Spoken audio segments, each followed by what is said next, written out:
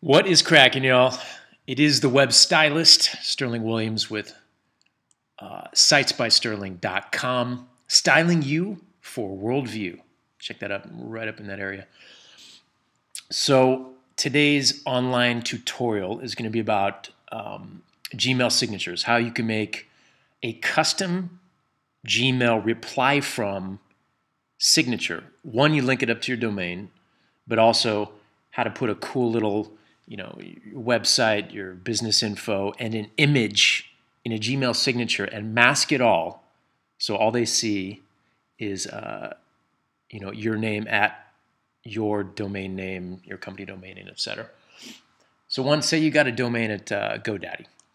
It usually comes with some free email forwards, right? And you click up in here and you go, I kind of have a lot, um, to whatever, uh, let's see, let's, let's jump over here actually. So you click, you go to your control panel, you click email, it jumps you to this section.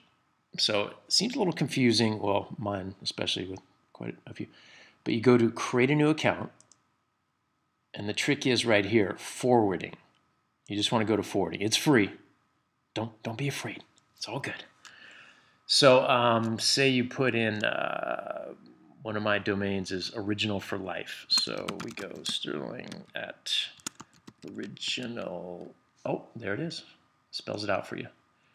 And then two, what email address? And I'm going to hide my Gmail address here. So you basically type in, um,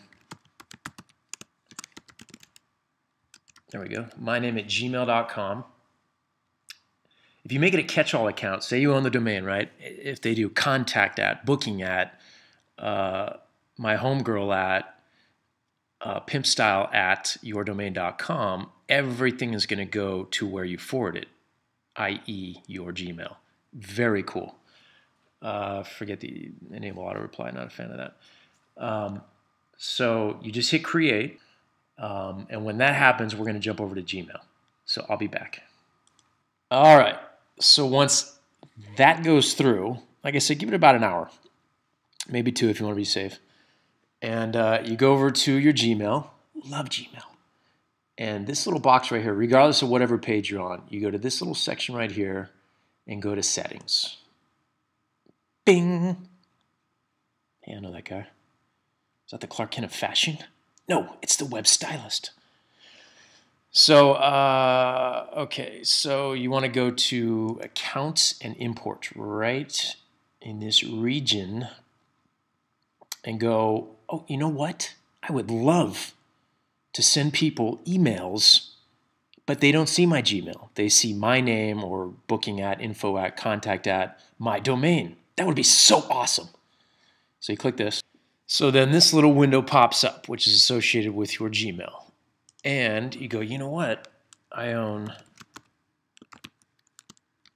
um, your domain, which is what you just set up in GoDaddy. And let's see. Um, actually, my bad. That's what I'm talking about. So you go to next step, and it's going to confirm. So now that you've already linked it up to GoDaddy, of course, this is going to loop back around as it's confirming. So send through Gmail, don't don't click the SMTP servers here. That's when it gets a little confusing. Um, so keep it simple. Just go send through Gmail, which is our whole point here anyway. Next step, send the verification. Bam! Hoo-yah! Okay, so then you go back and check your email, and there'll be a verification uh, link. So we'll be back in a second. Okay, so now we go to our Gmail, and we see in our inbox the confirmation. This, my friends, is called the money. So you can click this link to confirm and link it all together or go back to that little window there. Ah, why? Just click this, nice and easy, and give it a few seconds. Oh, that's the money. That's the happy whistle right there. So literally, as soon as you see this, you can start composing.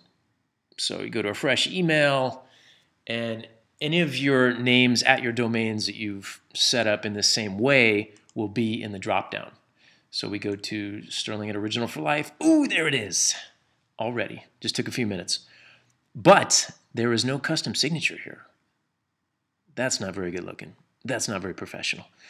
So that is also the next tutorial. I'll show you how to set up a number of, uh, any, any of your domains can have a different um, reply from, not just name, but uh, signature in the bottom here. So again, the next tutorial, holla at uh, Facebook, Twitter, and for sure my YouTube, because that's where these videos, and at sitesbysterling.com. The web stylist Sterling Williams coming at you. Stay tuned, and we'll see you in the next video.